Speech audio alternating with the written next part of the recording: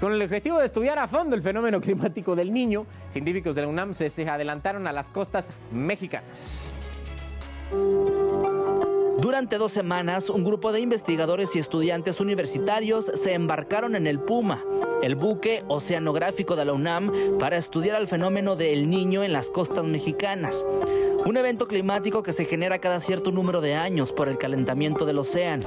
Este niño es considerado hasta ahorita como uno de los tres más grandes ocurridos en los últimos 30 años. Antes se presentaron los fenómenos de 1997 y 98, también el de 2015 y 2016, que provocaron potentes nevadas, fríos y lluvias extremas, así como fuertes inundaciones y altas temperaturas.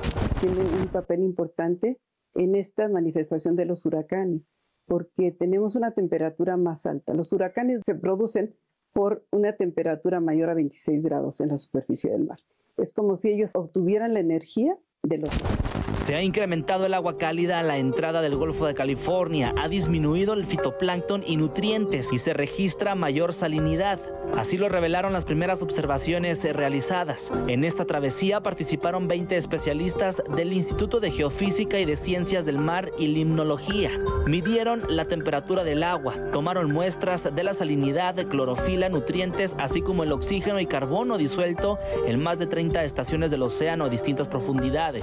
Y la importancia de estudiarlo es para dar información desde el punto de vista de México, cómo es este fenómeno, cómo se desarrolla y cómo afecta no solamente la parte de las variables físicas, sino cómo afecta a la biosfera. Especialistas mencionan que este es un esfuerzo por conocer más el mar y los eventos asociados a él. En una época donde suceden acontecimientos como el niño y el cambio climático que tiene consecuencias cada vez más visibles. Antonio Anistro, Heraldo Media Group.